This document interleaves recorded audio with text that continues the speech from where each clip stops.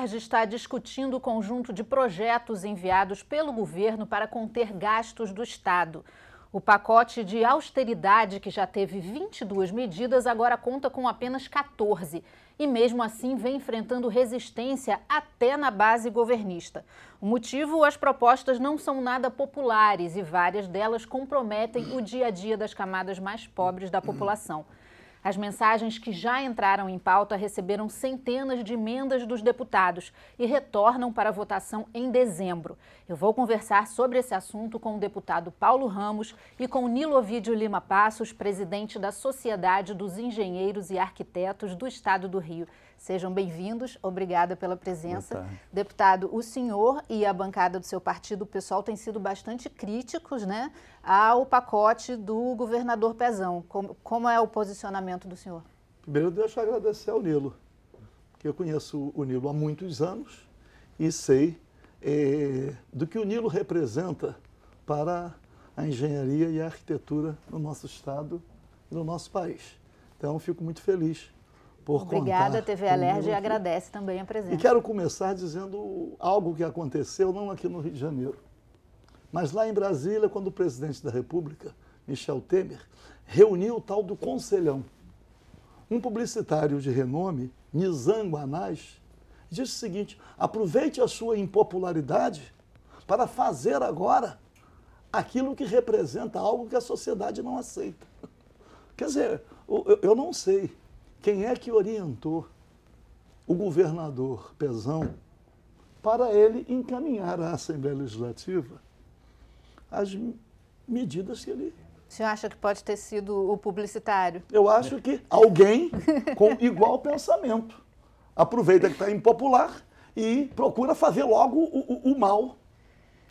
Quer dizer, então. Mas, deputado, nós sabemos que a situação econômica do Estado é muito crítica. Sabemos, e claro Alguma coisa precisava ser feita e não eram coisas simples. É que, é que, na verdade, a grande questão é que todo mundo entende que alguma coisa tem que ser feita. Mas não aquilo que o governador quer fazer. Que há outras medidas que podem ser adotadas de modo a enfrentar a crise. Só que o governador jogou essa batata quente para o poder legislativo. E é claro que há uma rejeição muito grande. Primeiro, a manifestação que vem do Ministério Público, por exemplo, demonstrando claramente que as medidas, quase todas, são flagrantemente inconstitucionais. O senhor pode dar um exemplo e de mais, algumas? É, que retira direitos? Como é que suspende pagamento de triênio? Como é que a é, essa, essa mensagem, inclusive, está suspensa por uma liminar, né? Mas como é que o servidor tem direito a um reajuste parcelado? O governo manda uma medida adiando o pagamento. Estou dando só esses exemplos. Mas temos inúmeros outros. Mas o Ministério Público manda não é, um documento com, com a verdade jurídica. O Ministério Público através do seu procurador-geral, doutor Marfan Vieira, traz para nós, numa reunião na presidência, uma nota técnica, dizendo o seguinte: dessas 22 medidas, 17 são flagrantemente inconstitucionais. E aí, indagado, ele diz: caso haja aprovação pela casa e o governador sancione, o Ministério Público vai arguir a inconstitucionalidade. Então nós estamos aqui vivendo um drama, o servidor público assustado, desesperado com razão, porque é impossível fazer com que o servidor público do Estado do Rio de Janeiro perca direitos. Não é aceitável. Tudo podendo dar em nada. Por quê? Porque o governador do Estado sequer se dispôs a um debate prévio um debate prévio, especialmente com as representações dos servidores, mas também um debate com a Assembleia Legislativa. E aí estamos vivendo esse drama, a base do governo acuada, mas acuada por quê? Porque os servidores já não aceitam mais é, desconhecer o voto de cada parlamentar.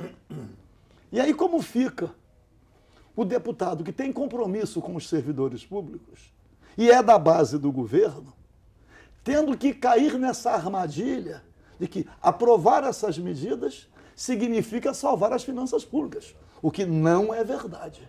Quer dizer, o governador não quer enfrentar a crise com os mecanismos que ele dispõe, mas atacando na ferida e não prejudicando os servidores. Lino, qual é o posicionamento da Sociedade dos Engenheiros e Arquitetos do Rio? Você disse que o Estado realmente está em crise. E a gente até acredita que sim. Mas a forma, como diz o deputado, que foi feita foi totalmente inadequada. E a gente entende, e eu já falei isso aqui com vários é, deputados, que o governo, toda vez que ele mexe, ou na estrutura, e no caso ele queria mexer, ou na, uh, no governo de uma maneira geral, ele mexe com pessoas de fora, fazendo coisa errada, sem escutar quem está dentro, quem sabe o problema. Nós temos é, algumas soluções. Não diria que a gente resolveria todos os problemas, a gente poderia ajudar bastante, assim como a Alerj, eu acho que também. Eu acho que essa discussão tinha que ter sido feita antes de enviar isso. Eu concordo com o deputado e a gente sabe como funciona o Estado. A gente, de repente, pode contribuir de forma a resolver o problema. É, uma, de, é, uma das medidas, quer dizer, é, várias medidas que vieram para cá foram extin, é, extinção de fundações e autarquias do Estado, órgãos do Estado, né? uhum. né? É, um, todos eles saíram de pauta, né? Mas eles podem voltar em 2017. Os senhores acham que a economia com a extinção desses órgãos é significativa? Eu, eu, bom, só para aproveitar e dizer que, que é, é, é uma coisa que eu, que eu bato muito e que, por vezes é, eu vejo que algumas representações não se apropriam dessa informação.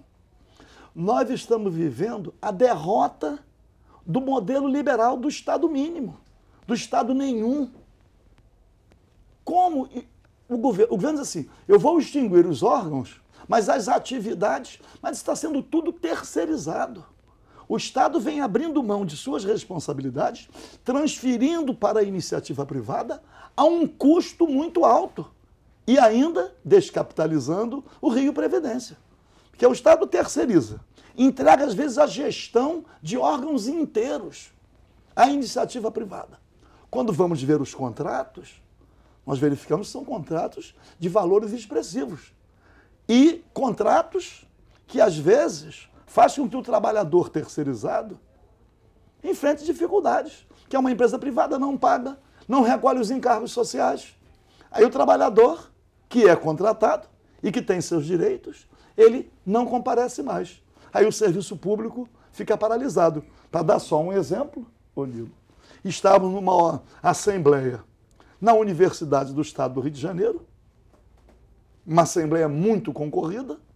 Aí o reitor falou: mesmo se houver a suspensão da greve, eu não terei possibilidades de fazer a universidade funcionar, porque não tem portaria, não tem limpeza, não tem vigilância, não tem manutenção, o que aconteceu também com o Hospital Pedro Ernesto. Então, esse modelo faliu e é preciso discutir esse modelo. Serviço público tem que ser prestado por servidor público concursado, com plano de cargos, carreiras e salários, é dever, não pode transferir para a iniciativa privada.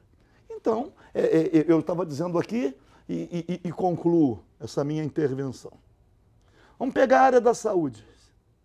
O governo entregou o Hospital Pedro II, a gestão transferiu para o município. Pedro II, Rocha Faria, Alberto Schweitzer. Transferiu. E o município entregou para uma OS. E esses servidores estão aonde? Esses servidores da saúde. Demoliu o IASERG Central. Está lá. 12 prédios. Mais de 40 especialidades médicas. Aonde estão os servidores do IASERG Central? Então, chega lá, Adão Pereira Nunes, entrega, estadual, entrega a gestão a uma empresa privada. E os servidores públicos? Então, o Estado vem administrando mal, mas porque adotou o modelo do Estado mínimo, pô, falido. Um Instituto de Engenharia e Arquitetura. Está aqui. Que o doutor Nilo conhece bem. Quando Esse nós olhamos... é um dos exemplos do que eu falei, né? É. Por quê? Que é veio a mensagem do governo para extinguir, mas todas essas fundações, institutos, órgãos, autarquias, me, me, parece assim que a economia é muito pequena diante do que representa acabar com. O benefício é nenhum. Não, eu não, não vou falar do Instituto de Engenharia e Arquitetura para o doutor Nilo falar. Tudo Mas é bem. é preciso que haja a compreensão de que a responsabilidade na fiscalização das obras públicas, essa fiscalização cabe aos engenheiros públicos. Pô.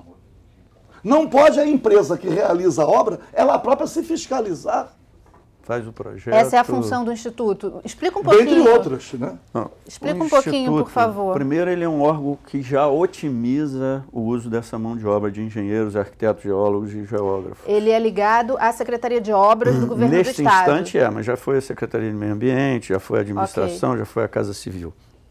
Ele foi criado antigamente, cada secretaria, órgão, autarquia e tal, tinha sua estrutura de engenharia e arquitetura. Sim. Quando tinha demanda, trabalhava e tal. Quando a prioridade saía dali, porque mudou o governo ou a prioridade do governo mudou, aquela estrutura ficava ociosa, procurando o que fazer. Com a criação do Instituto, todos vieram para cá e é, ele, ele é locado lá. Concluiu o trabalho, ele volta para aqui, requalifica e reloca ele em outro órgão ou setor. O Instituto é a gestão de pessoal de engenharia Mas um pouco mais ele faz a parte de qualificação e dá suporte às pequenas prefeituras, principalmente às pequenas prefeituras. A gente há pouco fez é, vários termos de cooperação técnicas com várias prefeituras. As prefeituras têm, às vezes, o deputado estadual ou federal que bota lá uma, uma verba da, da, do orçamento, do orçamento que é, é de lei, né? Para a prefeitura para tirar esse orçamento tem que ter um projeto. As prefeituras menores do interior não têm uma estrutura de engenharia capacitada a fazer isso e perdem a verba. Eu mesmo, com uma equipe, a gente analisou na CEPLAG, perto da, um pouco antes da eleição de governador, e, e tinha vários erros, a gente voltava, ia, voltava e eles não resolviam. Então a gente vai lá e faz o projeto para ele. Faz é, eventualmente projeto de, de sinalização turística, de trânsito, faz um, um código de obras, um, um, horto florestal, um plano de águas que em 2013, 2014 era grande problema no interior do estado. No Carmo, por exemplo, onde a gente fez, tinha proprietário que comprava caminhão para dar para o gado, caminhão de água para dar para o gado, porque não tinha. Então a gente foi, à época eu coordenava uma equipe grande, mas o coordenador desse projeto, ele ganhou uma bolsa da PUC por causa desse projeto, de mestrado. Ele está fazendo um mestrado em cima deste projeto. Quer dizer, a gente tem o conhecimento, a gente tem a expertise, a gente sabe o que, que é o Estado e a gente sabe como servir as pessoas no Estado. É isso que falta a esses que vêm sem compromisso. Nós temos compromisso com a população, com a sociedade.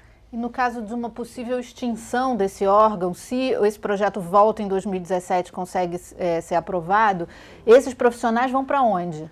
Era muito pior, porque era, era extinção do órgão e praticamente acabava com as carreiras, porque ia para um quadro complementar em extinção. Não. Eles chamaram de carreirão. É um, é um cargo em extinção. A bem da verdade. Ah, vai morrendo, acaba.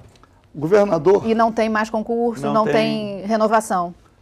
O governador aproveitou a crise criada pelo próprio governo para desmontar de vez o Estado, que vem desmontando. Tu imagina? E acabar com a Fundação Leão 13, e acabar com a Funarte, e acabar com, com a FIA. E acabar com. O, o. O, FIPERG. O, o que, que o governo pretende? Desmontar de vez? Qualquer dia governar significa ter um escritório. Só desviando verba, mandando verba para cá, para lá. Porque o Estado abriu mão de suas responsabilidades públicas. Aí diz assim, mas a crise é na Previdência. Claro que é na Previdência. Afinal de contas. Você vai acabando com o funcionalismo público, quem, quem é, que, é que vai contribui? contribuir? Né? Aí o pessoal vai se aposentando, vai aposentando, vai falecendo, E o deixa Estado viúva. tem a despesa, porque ele passa para o INSS. Né? Exa- Exatamente. Claro, não. O, o órgão, um órgão previdenciário recebe. Quem não recebe é o Rio Previdência.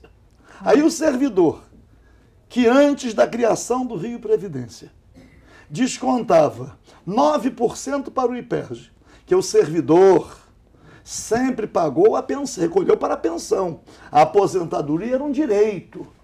Os servidores mais antigos nunca contribuíram para a aposentadoria. Aposentadoria fonte 00. Com a criação do Rio Previdência, o que, que eles fizeram? Não, não, então vocês agora vão descontar 11% ao invés de 9%. E a saúde será custeada com recursos do Tesouro. O servidor passou a pagar, a continuar descontando 11%. Que já foi E- 7 mais 2, né? Já foi Não, 9 já foi depois. 5. O IPEG era Só vem 5. aumentando. 5, 7, 9. Eu sou servidor antigo, então conheço. Aí o que, que fez o Estado? O servidor passou a pagar 11% e, portanto, esperando que a saúde fosse custeada com recurso do Tesouro. Aí aniquila a rede Aserj e começa a vender plano de saúde. Aí o servidor está contribuindo com 11%, tem que comprar um plano de saúde que o Estado oferece, o servidor pagando, e ainda agora querem aumentar para 14%. A gente vai falar disso rapidinho no próximo bloco. Eu vou chamar o intervalo rapidinho, a gente volta já já.